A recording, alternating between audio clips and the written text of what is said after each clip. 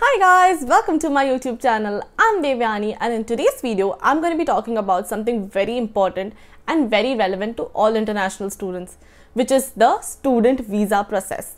So this is going to be a super long video because I'm going to be explaining everything in detail and that's why I'm going to be dividing this video into two parts. So this is the part 1 of the video and part 2 I'm going to be adding in the description box below and also at the end of this video. So in this part 1 video, I'm going to be covering everything from how to get your offer letter, CAS number, your bank statements, your tuberculosis test, the documents you need and all of that. In the part 2 of the video, I'm going to be talking about how to do the visa application process, what all you need to submit, how does the visa day look like, and also to be sharing a very important story of my friend who got into Middlesex University and he had to give like a couple of interviews before he got his visa. So it was like a very lengthy process and very complicated process for him. So I'm going to be sharing that and also how to get a BRP and stuff like that. So just to give you guys a disclaimer, I'm not going to be covering anything about a loan in this video. I'm making a very specific video for that later. So please stay tuned. So without further ado, let's just get into this video. If you find this helpful, please do like my video and subscribe to my YouTube channel and let's just get into it. So just to give you guys a background, I am from Pune. I did my bachelor's from Jai Hind College, Mumbai and applied to King's College London in the UK. So my experiences and how the process looks like may come from how I have applied to King's College London from Pune and it might vary for you but more or less it's going to be the same. So if you have any further questions don't worry about it. Do comment below and i'll make sure i respond to all of them. So let's just get into it. So the process begins when you get your offer letter. The most often than not everybody gets a conditional offer letter. That is when you still have to submit your some documents like your IELTS marks or your final degree certificate or things like that. And after you have satisfied all of the requirements, you get an unconditional offer. So that is when the university is like, yes, okay, she has submitted everything, he has submitted everything, and we can go ahead with the process. Only after you get your unconditional offer, they issue a CAS number for you. So what is a CAS number? A CAS number is a confirmation of acceptance of studies number which a university provides for you, which is a unique identification ID. So without your CAS number, you cannot apply for your visa because while you start your visa application process in that form, the very first thing they ask you is for your CAS number. So you have to wait until you get your CAS number. So for universities like King's College London, they do a thing called pre-CAS. It is not necessarily that you will have it at your university, but King's does. So I'm just going to tell you about it. So pre-CAS is essentially when they review your documents, your name, your father's name, and match your passport details to your degree certificate and everything. They make sure that everything is final before they issue your CAS number because CAS has to be perfect. Any error in CAS will result in like not, you not getting your visa. So they have to make sure. So I got my pre-CAS on 9th of July 2021. But I had a big issue. So what happened was um, on the, my passport, my mother's name was Sheila with a double A, S H E E L A A. But on my degree certificate, it was just single A, which was Sheila with a single A and passport as Sheila with double A, which did not match the degree certificate and passport details don't match, so we can't issue a CAS for you. I was like freaking out. I was like, oh my god, because I was like so further ahead in the process. Like I was like, fine, finally I can apply for my visa. It's gonna be sorted, but the names did not match. So they asked me to make a new final degree certificate with Mumbai University. I'm in Pune, COVID time, so I could not do that. So what I did was I went to a lawyer. I created an affidavit which stated that Sheila with a single A and Sheila with a double A is none other than the same person and which was signed by my mother and with a lot of stamps. And then I submitted that document to the university. And finally on 23rd July 2021, I got my CAS number. So what I recommend to you is make sure before you submit your documents, everything is perfect. Your name and your passport, your Aadhaar card, your um, degree certificates, your 12th mark sheet, everything is the same. Your, your name, your mother's name, your last name, your address, everything has to be the same because otherwise you will have problems in your CAS. Okay, so you have your CAS number now. But even before you get your CAS number, I recommend you to start gathering your documents. Like go to the bank, make sure everything is in process because otherwise it's going to delay your process even more. So before we talk in detail about all of these things like the TB test or the bank details or how to fill your visa form, here's a list of everything you're going to need on the day of your visa application. So you need printouts of that. I'm going to talk about this in the part 2 video in more in detail. But all of these documents you do need. So just make sure you take a screenshot of that or um, come back to this video whenever you need it. So this is what you need. So the affidavit and things like that noc so it totally depends on the situation you are in. So for example i didn't need an affidavit. You might not need it. So it totally depends but more or less this is what you need.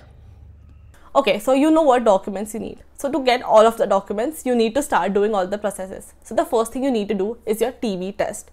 So for tb test you can't do it anywhere. So there are some hospitals decided by the government by the uk government and indian government and you can only do it there. Like for example, in Pune, there is only one hospital where you can do your TB test. In Bombay, there are a couple. In Delhi, there are a couple. So like you need to check where's the nearest place, and you have to do it there. So how does a TB appointment look like? At least in Pune. So I'm going to be reading through my laptop because I don't quite remember exactly because it's been like more than a year. But basically, you need to book your TB test. So you don't call them, you send them a WhatsApp message for Ruby Hospital Pune. So it might differ depending on where you are but during the peak time when everybody is applying for the visa the waiting time could be like 10 15 days. So like you just need to buck up. You need to start your process as soon as possible so that you can like be chill and you don't have to pay extra for priority visa. So the prices for tb test vary again. Like for example in pune for ruby hall the tb test costed 3000 rupees. While in mumbai there are options like 1500 rupees. In bangalore is about 2000 rupees. So it totally depends where you at so when you send in WhatsApp about your appointment, they respond to you with the date and time and everything like that. And they also send you like a list of things you might have to carry. So they send me two documents which I had to print out and fill out with my details. Then I had to carry my passport, a couple of photos and things like that. So it totally depends on which hospital you are at. So I won't go in detail, but you have to carry all of those documents to the hospital. So I had my appointment at 10 a.m. and I went to the hospital at 9:20. So um, when I entered, they did a basic screening of my temperature and all of that, and then they took me to the second floor. And after you fill the documents, you are asked to go to a room where they check your weight and height, and they make note of it. And then you wait in the waiting area, and after a long time, you are asked to change into a gown. So you have to like remove all of your clothes essentially, and then ask to change into a gown which is provided by them. So the X-ray room, there's like a big ass machine. You just go there and you just stand for like a couple of seconds. There is this light which goes around. Literally within like two minutes, you're done with it. Okay, so uh, literally it took me two minutes, and then I came out, and then again there was a lot of waiting after changing bag, of course and then after a lot of waiting we went to the doctor. He just uh, looked at our reports. He only asked us like do you have tb we were like no we don't have tb he was like okay cool you don't have tb he signed the documents and then we left. And then after 4 5 hours we had to go back to the hospital to collect our certificate. And that was pretty much it. So let us talk about bank statements. So you need to keep money in your account for at least 28 days before your visa appointment. Like for example i have my visa appointment today. I should have money in my bank at least 28 days before that. And another thing you remember is after 28 days are complete, you only have like 31 days until you apply for your visa uh, or go to the VFS office to complete your formalities. So 28 days, after 28 days, 31 days. You just remember that.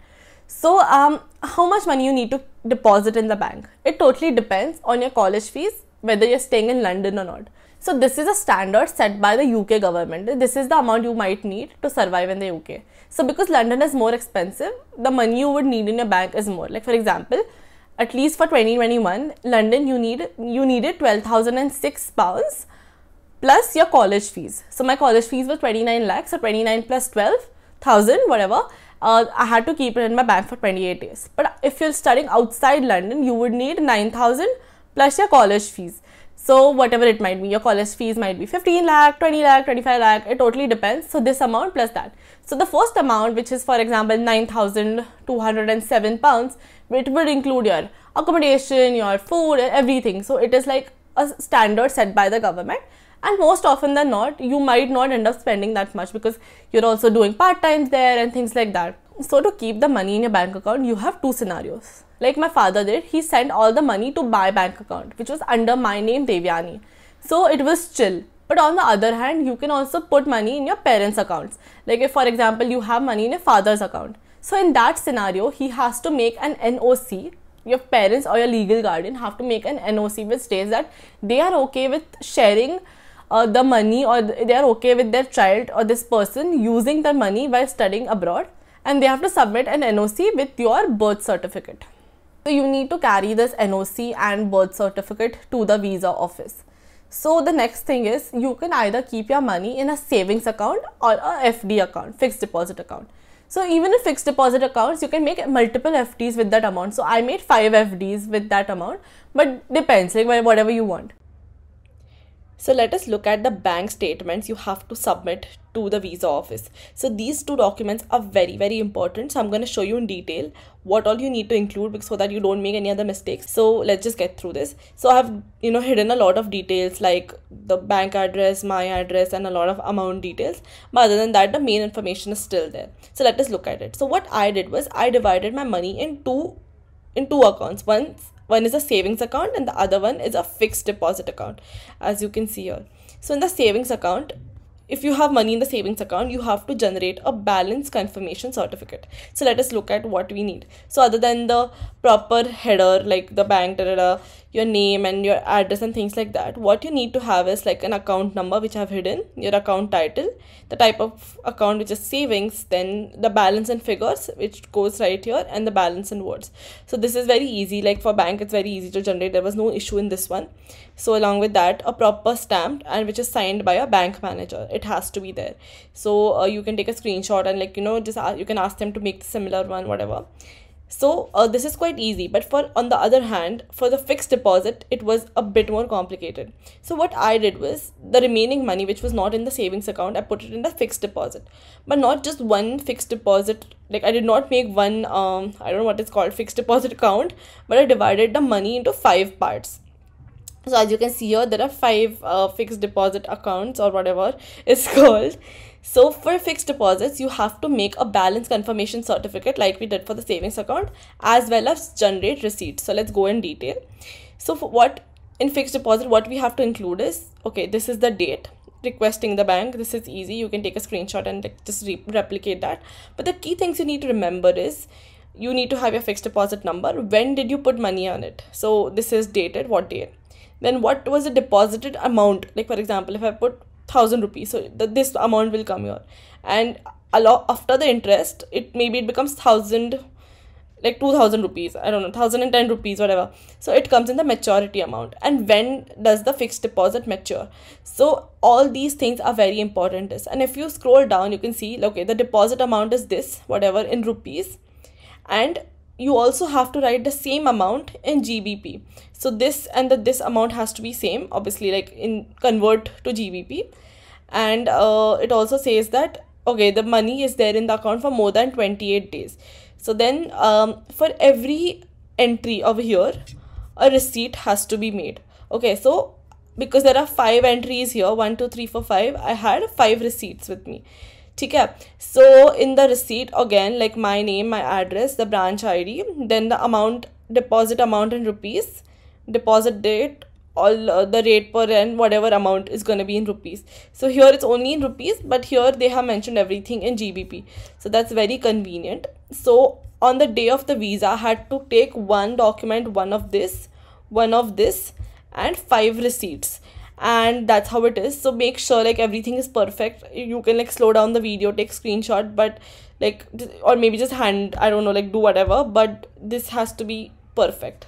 But I personally had to tear up my documents like five, six times because there were like stupid mistakes. Like they did not write the amount in GBP, like in British pounds. Then I had to tear it. Then they messed up the date. I had to tear it. The sign was wrong. Oh, like there were so many issues. And finally, I got my bank statements. So I really recommend like even before, like uh, if you can keep money in your account for a very long time, you should like do it as soon as possible because there are a lot of mess ups in this and your bank accounts are damn damn damn important so don't make sure you don't mess that up so now you finally have all of your documents ready from your passport, your CAS number, your TB test, your bank statements and everything, your IELTS sheet and everything is ready.